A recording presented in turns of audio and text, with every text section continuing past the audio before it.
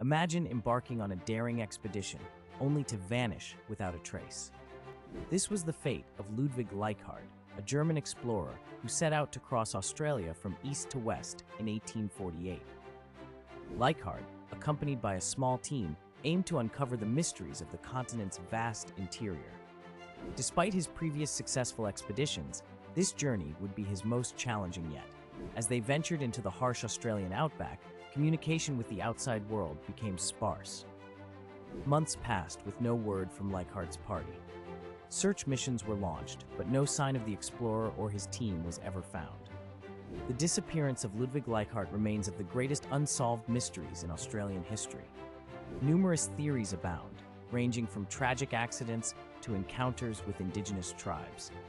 To this day, the fate of Leichhardt and his companions remains a captivating enigma, leaving historians and explorers alike puzzled by the mysterious vanishing act that befell the intrepid German explorer.